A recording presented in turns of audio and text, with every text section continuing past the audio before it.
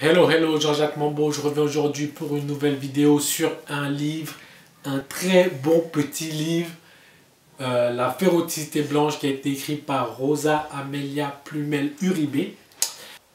Je ne veux point parler ici de ces malheureux, alors, qu'on fait rôtir dans un four ou qui ont été dévorés par des chiens. Les yeux dans les yeux. C'était une avancée pour l'époque.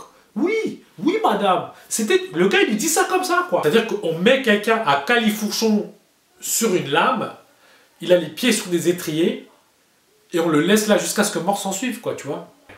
Je trouve que c'est extraordinaire. Donc moi, je dis un gros big up à euh, Rosa Amelia Plumel Uribe. Procurez-le vous. La férocité blanche. Peace.